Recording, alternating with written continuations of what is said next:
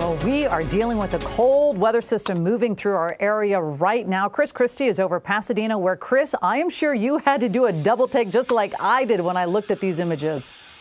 Colleen, I couldn't believe what I was seeing as we were making our way over Pasadena. We came right up on the Rose Bowl, and take a look at that. There is a fresh dusting of snow on the field at the Rose Bowl, the surrounding parking lots there. In fact, as we widen out, you'll be able to see much of the North Arroyo neighborhood blanketed, and again, a thin dusting of snow. A lot of these rooftops have now turned white, a very unusual sight here in Pasadena. We've had reports of snow coming in on social media across the city of Pasadena, and sure enough, it looks like the white stuff is uh, at least here for a little bit. It's sticking.